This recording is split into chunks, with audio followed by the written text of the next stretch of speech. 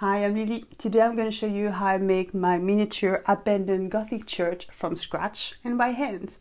I've used this miniature set for my last stop motion animation called This Too Shall Pass. If you haven't seen it yet, I'm going to put a link above and in the description below.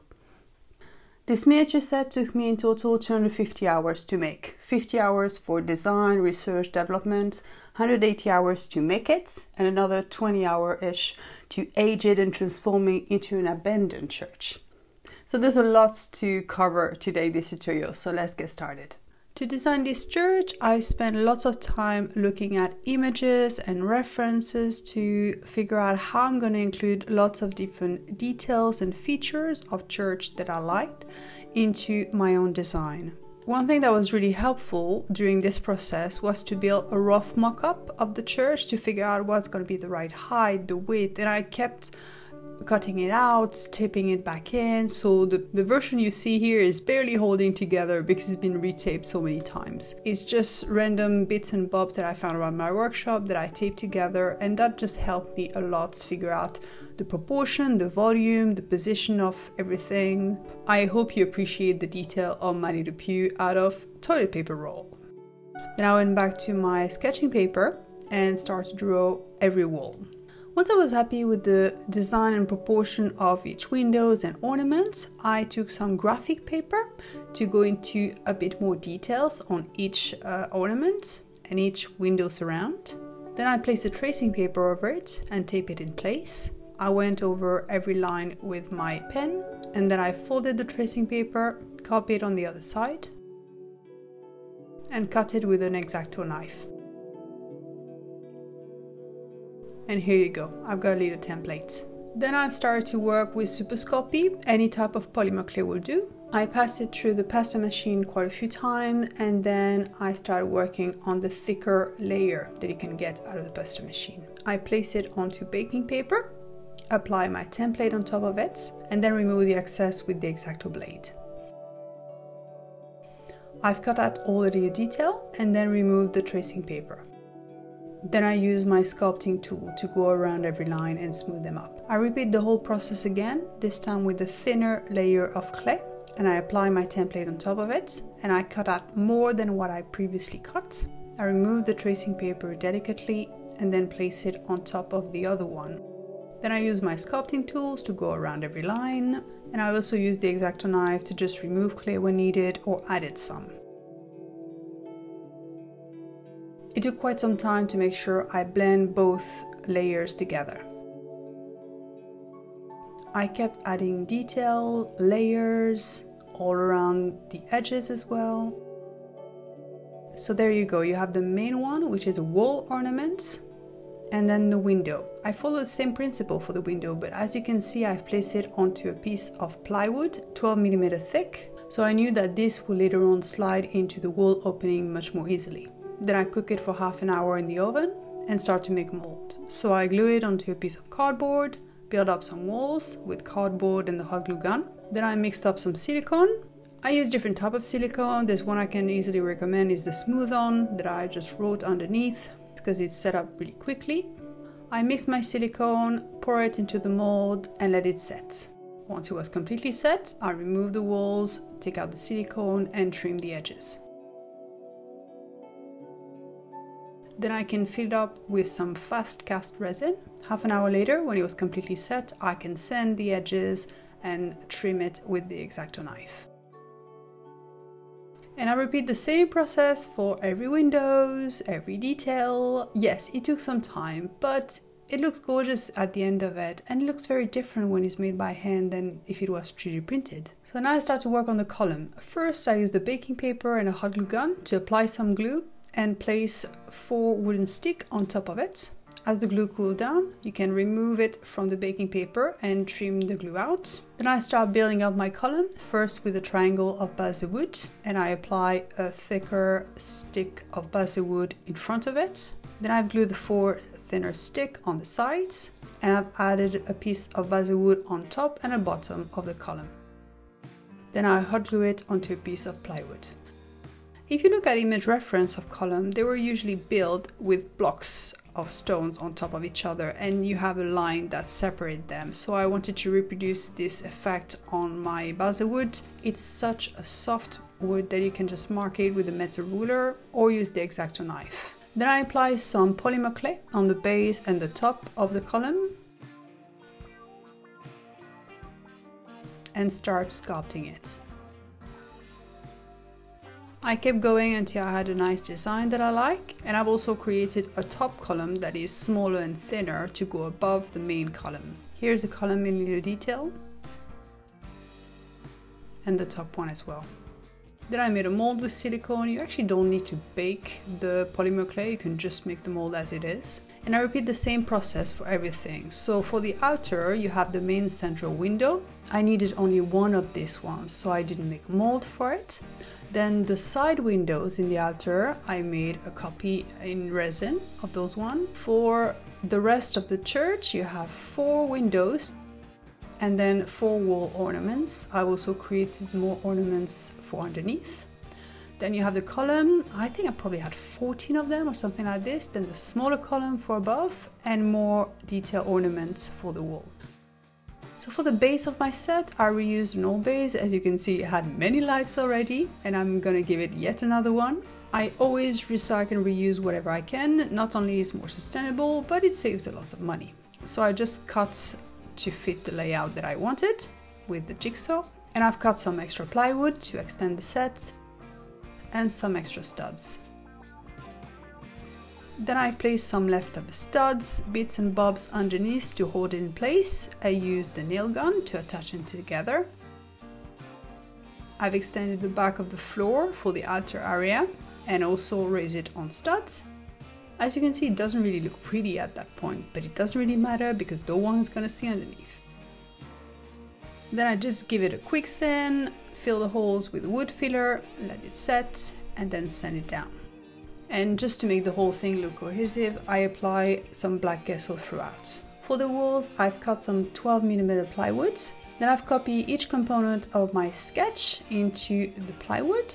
I've also reused the curved arch that I used initially for sculpting my windows and used them as template so I can just copy them onto the new plywood.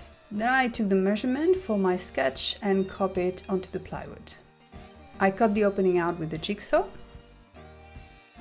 then I wanted to glue some 2mm craft foam onto my plywood and I used some contact adhesive or contact cement and I apply coat onto the plywood and at the back of the foam and let it set roughly 5 minutes until it starts being tacky. This stinks like hell so I recommend doing it outside and then I just place them against each other and I have a good bond throughout. That foam will be useful later on so I can carve my bricks into it.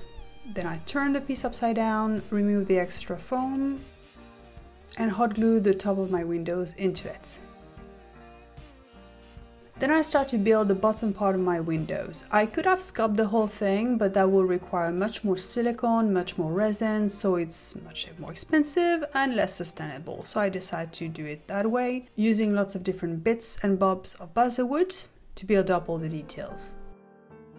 Now I needed to cut some column in half and I wanted to invest in a table saw, but like many crafters, I've got storage issues. So I decided to invest into the smallest table saw I can find. This one is super cute and actually more efficient than what I thought. But the only thing I didn't know is how much the blade come out of the table. And as you see, it doesn't go deep enough or not as much as I wish, but there's always way around it. So then I start to position my walls and column in place and then I realized actually there's a problem. I don't know how, but I messed up my measurements and there were not enough space around the windows for the surrounds. So I realized I need to make the set wider. So I've just added some sheets of plywood all around and used the nail gun to hold them in place. Then I reassemble everything together place my column and check that I have enough space this time. Then I went around every column with the pen of different colors than previously to mark them up. And I started building up the altar because I wanted it to be elevated. So as you can see, I used some scrap of plywoods, pile them up, use the nail gun to hold it in place. Use all the scrap you can get because nobody will ever see it, so you might as well. I kept going with the wall ornament as well, with some bits of basswood in different thicknesses, some of the resin ornament I've sculpted earlier. I marked up the bricks onto the foam with a permanent marker. And I've also marked the top arch to know how far I need to carve my bricks and add some texture onto the wall. Then I went outside with the wood burning tool, mask and gloves and I started to carve the bricks into the foam. Then to add texture, I've mixed some good old PVA with some sand. Any sand will do, this one is just normal rough build sands. Mix it up together apply it throughout. Logically, it will like to go directly into the groove, so what I did is just apply it thin enough so I can see the line, and then with the sculpting tool, I remove all the sand that got into those grooves and let it set completely. Now for the top part of my church, I went back to my initial sketch, Use a tracing paper to copy my arches, copy them with a permanent marker on a piece of plywood, cut them with the jigsaw, and start assembling it. So there is 5mm plywood for the arches and 9mm plywood for the walls. Got the side parts of my ceiling and now I'm going to build the top part. For that I've got a larger arch to connect both walls together. Then I've placed a piece of 12mm plywood on top and used the nail gun to hold it in place the main structure of the ceiling is assembled. I tested it out and I wanted to have a tight fit because I didn't want to have any light to go through in between the wall and the ceiling. At that stage, everything started to fall apart a bit, but it doesn't matter. That was just a test run. I realized I needed to add more arches for the top part of the ceiling.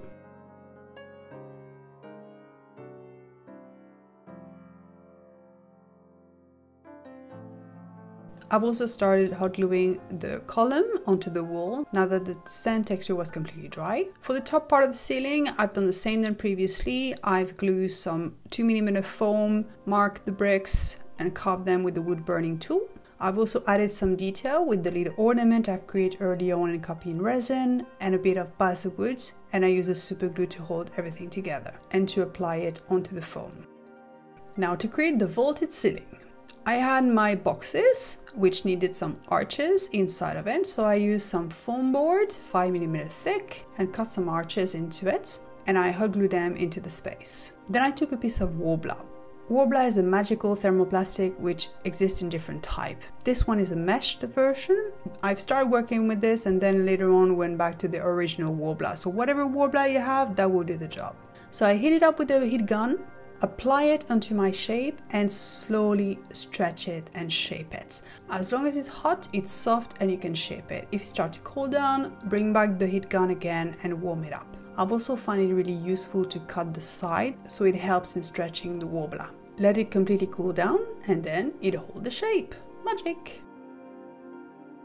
Then you can cut the excess with a scissor.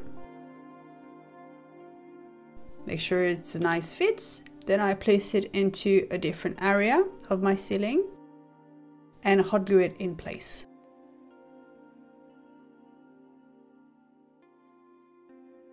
To cover all the edges, I've cut some Worbla in strips that are 10 mm wide and 3 mm wide and I warm them up. Once they are heated and soft, they will bond to each other. So that creates a little trim.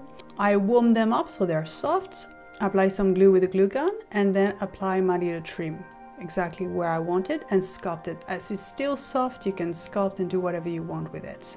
And I keep adding more trim onto my ceiling to create the cross ribs.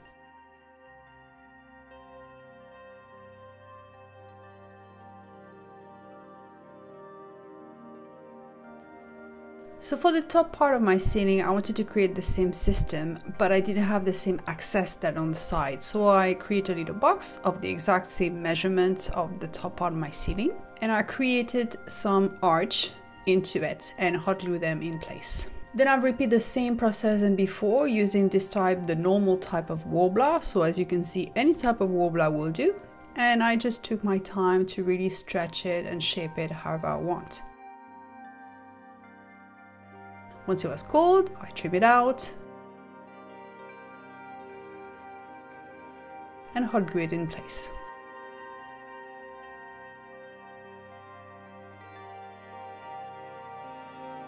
Adding those little trim with Worbla was brilliant to cover the edges, very handy.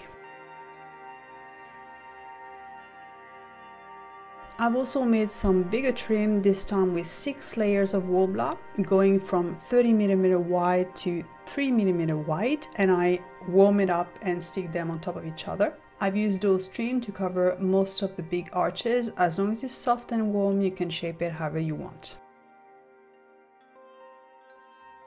Now going back to the base of my set, I've applied some contact cement or contact adhesive and I've applied as well on the back of a 5mm EVA foam, then I bond them together. This is how far I got at that point. Then to attach the column, I've started drilling the ceiling with a drill bit that is slightly larger than a wooden dowel so it can go in and out very easily. I drill into my column this time the exact size of the dowel. That way I knew the wooden dowel will stick into the column and stay there. Then I place my column onto the set mark it up with a permanent marker, drill into the board, and try to assemble everything together. I've also created a fourth wall, which have the same ornaments, same detail as the rest of the church. And on the other side, I've created the front of the church. I needed that shot to be the first opening shot of my animation. Now that I had all my components ready, I've started applying some white gesso throughout to prime it then two coats of acrylic paint, and then I start to add different shade to make it more interesting with a rough brush. Then I seal it with a clear matte sealer. Then I've done some grey washes. I like to do mine quite thick and remove all the excess with a wet paper towel. I've done a brown wash for the base as I wanted the pavement to be really dirty in that area.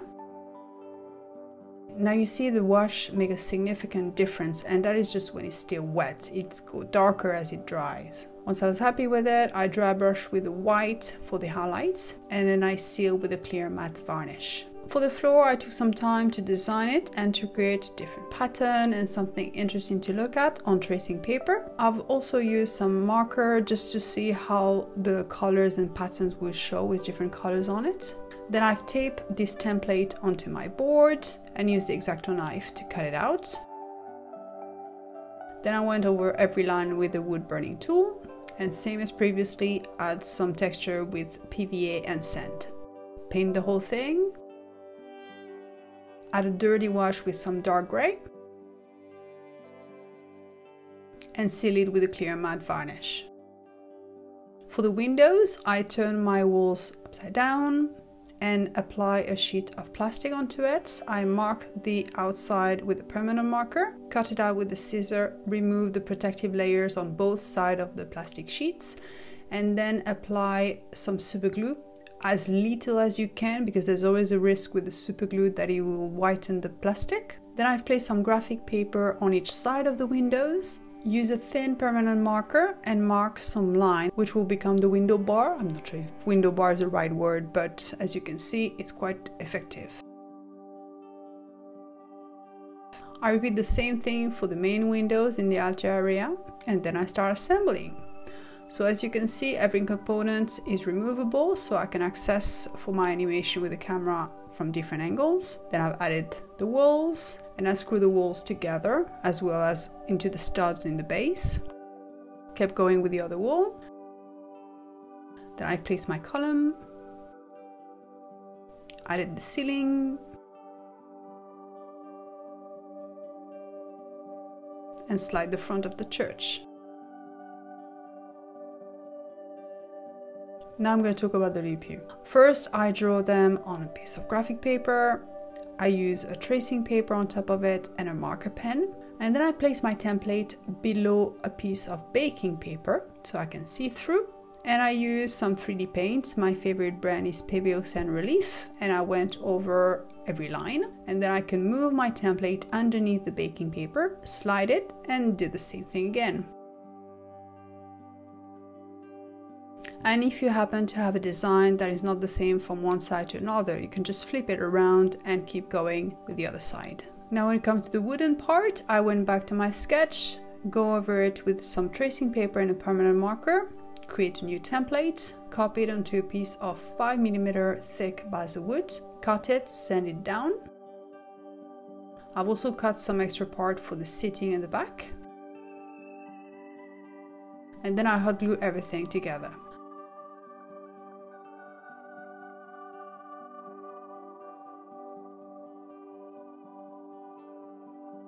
I've added two coats of diluted brown acrylic paint. And once my Pebeo Cerne Relief was completely dry you can actually trim it with a scissor or an X-Acto knife. So it's not perfectly straight. Don't worry you can trim it later. Then I've glued it with some super glue. And that was very fiddly because it's not sturdy enough to hold its shape. And I keep getting my fingers stuck in super glue. So that was a bit tricky this part. Then I'll apply a dark brown to create a wash remove the excess with wet paper towel. Then I apply a clear gloss varnish to create this stained wood effects that you have in old furniture. Now for the altar I've done the same thing. I've created a template on graphic paper for the front and the side. So once I made those decisions, it was easy for me to measure each component and copy them in basswood. For the top part, the bottom and I've also copied the ornament as previously done with the Pebeo Cerne Relief. Then I use some leftover foam board that I glue on top of each other to create the core of the altar. I've covered the whole thing with some sheets of basswood. I've sandwiched all the parts together for the top and bottom elements and then I hot glue them together. I kept adding more pieces to add some nice detail. I've painted, hot glued the ornaments, and done some wash. For the door, I've done the same thing again, tracing paper, permanent marker to define my shape and copy it onto a piece of card. I've aged some thin sheets of basswood with a screwdriver. I cut them into strips and hot glue them onto my piece of card. I create another layers for the top part of the door and then hot glue everything together. I've paint and dirty wash the whole thing. And I also create the little ornament with Pebeo Cerne Relief and create a door knocker with a black disc that I found in my piles of bits and bobs, a little bead and a little ring of wire. Now for those of you who are still awake and watching, thank you, I'm going to talk about the pendant light. To create those, I've used two shapes in Worbla, one thinner than the other. And I've used some clear Worbla and black Worbla. For the thicker part of basswood, I've used some square Worbla. So first I warm up the clear Worbla and I wrap it around my first piece of basswood. Keep warming it up so it bonds to each other and you can go all around the shape. And once I was happy with it, I let it to cool down. And start to work with the other piece. I warm up the black Worbla, wrap the top of my shape. As it was still soft at that stage, I used the X-Acto knife to cut the edges. Then I warm up another piece of Worbla and this time I covered the bottom part of my shape and let it cool down as well. Then I went back to my first component and carefully removed the clear Worbla out of the wooden piece once I knew it was coming in and out easily, I put it back in and start to work on the black parts. So now as you can see, I've got some lines and references to know how far I need to cut my pointed arch. I cut four of them and then warm up the black Worbla and carefully apply it onto the clear Worbla. It was a bit fiddly and tricky to work with, but as it's still soft, you can keep shaping it and use some sculpting tools to really create the curve you want. You can warm it up again if you start to go cold or if it hasn't bounded correctly to go all around the shape. Now I let that part cool down and went back to the other parts. I can remove the top and bottom bits, cut the excess with a scissor, use a nail file to smooth the edges, and assemble all the bits together.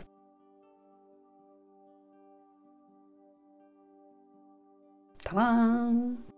Now I went back to those little discs that I found in my workshop and drilled some holes together. They will be good to hide the transition when the cables of the lanterns go into the ceiling. I've also drilled a hole at the top of my lantern to allow for the LEDs to get in and I hot glue all my components together.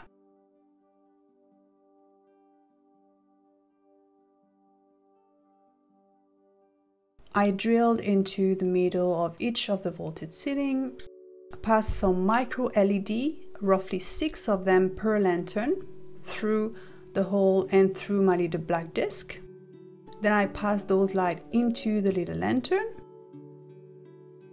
And to cover the transition, I use another piece of black Worbla that I warm up and wrapped around the wires. I recently discovered something really cool, grey tack, and it came really handy on this task. So I put a little bit of this grey black tack on top of my lights, press it into the hole so it holds everything firmly together. Test it out, all my lenses were connected and I can just switch them on and off from the little battery pack. As you can see from above, very simple installation and I've just added a bit of duct tape. I've repeated the same thing for the altar and I make sure I had a separate battery pack because I wanted to be able to remove, for example, the ceiling or the altar without having some cable in between. So they were already completely independent. At that stage, the set was ready to shoot. So I start shooting all my animation and when I was happy with that, then I start to transform this into an abandoned church. To do so, I use some old leftover of plaster that I try to break into the tiny pieces possible, and I use Sculptamold because that's it really quickly.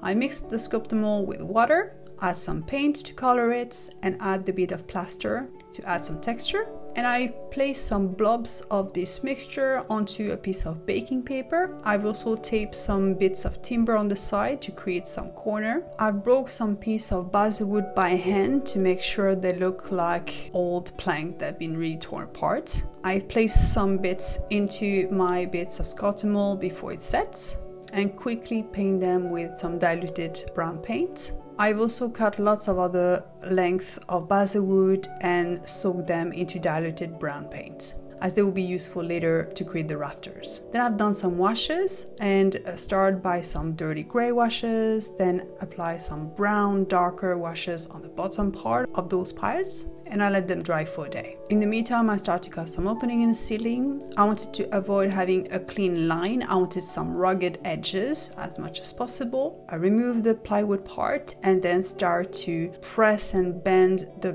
Worbla part inside. And at that point, it needs to look distressed. So really about stretching it, damaging it to create something that looks a bit realistic.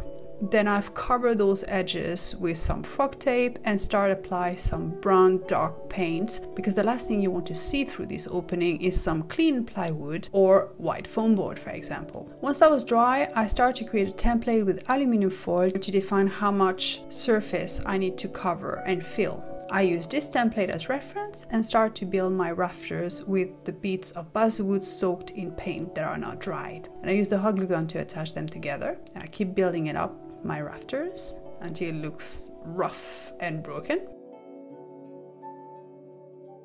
Then I hot glued them in place and I kept adding more pieces of basswood.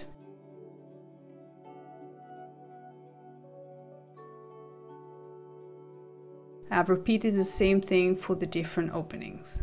Now for the broken windows, initially when I started shooting I realized the plastic sheet that I glued initially was too clean and not realistic with old windows. Adding this piece of plastic from packaging, it really made a difference. To break those windows up, first I went through both layers of plastic with a Stanley knife and cut them out in rough kind of fashion. This was my first try by the way. I removed the top coats of the flexible plastic and start making more dent into it. If you do it by hand, be very careful with your own finger when you do this. And at that stage, I was trying to create as much damage as possible to not have a clean line. If you look at images and reference for broken glass, you can see that they have similar pattern to spider web. So you have all those lines that cross in the middle, and then you have like different circles going around. So I tried to replicate that with the Stanley knife. Then I tape the plastic sheets back on it and there you go, some broken glass. And I've done the same thing for every single window. Then I've reassembled my set together. Now it's about making sense of how the church was destroyed. So let's say the roof has collapsed here. That means there's going to be lots of rubble and rubbish underneath directly. Same with the side one. It needs to make sense. If you just put broken wood everywhere, it doesn't exactly look realistic. So you need to tell a story with how the church was destroyed. So I knew where my rubbish and rubble will add up but also where some water damage will be. So I knew that underneath this opening, for example, I'm going to do more washes and including some green washes to create the effects of the water damage. So that's what I started with, some diluted dark acrylic paint, and I removed the excess with wet paper towel. That green wash alone made a significant difference. By then, my little piles of Sculptamold were dry, so I started placing them up, and I like having a bit of flexibility and move them around until I was really happy with the layout. I made the decision that if the roof has collapsed in this area, the pew underneath will probably collapse as well. So that's why I broke it by hand and started piling the parts of wood on top of each other. I kept adding more rubble, more bits and bobs to try to make it look realistic, like everything has fall on top of each other. Then I hot glue them together for stability. I've also made sure I painted the bare balsa wood so it blended with the rest of the dark wood. I've added more broken plank. I made another mix of Sculptamold, this time with some darker paint to it, and I filled the gap underneath each of my uh, little rubble pile. I press my dark mix underneath rubbles and then I use, use a wet brush to blend everything together. Then I start doing more washes to make it more dirty and old and slowly but surely the picture emerged. I needed lots of greens and foliage to create the final look. I've used most of the tree boxes of the green vine, one box of the dead vine, and plenty of other bits and bobs. I wanted to have a diversity of texture, shape, and colors to really create the realistic look. I bought all of them from Model Scenery Supplies in UK. They are not sponsoring me in any shape or form, but they have a fantastic range, so I thought it was worth mentioning this company. I start to apply some clear PVA and add a little bit of turf and different texture onto it. Remove the excess with a vacuum. I didn't put any hose on it because I was vacuuming all sort of things that hasn't been stocked properly anyway. Then I've used lots of the green vine, pressing it into place and then used the hot glue gun to make sure it stay there. I kept building it up with a different kind of foliage.